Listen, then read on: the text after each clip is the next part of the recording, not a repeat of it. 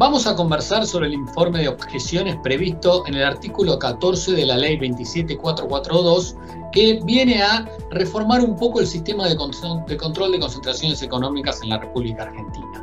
Previamente, cuando se notificaba una transacción y la misma tenía problemas, la autoridad le indicaba la parte de los problemas que veía y en forma conjunta negociaban los remedios. A partir de este artículo 14, lo que se hace es que la autoridad emite un informe de objeciones por escrito, se lo notifica a la parte y a partir de ese informe de objeciones se negocian los remedios. Si bien hasta noviembre de 2020 no se habían publicado informes, actualmente ya hay tres transacciones que tienen informes de objeciones publicados. Ellas son la transacción de Singenta Nidera, Migor Brexit y Disney Fox.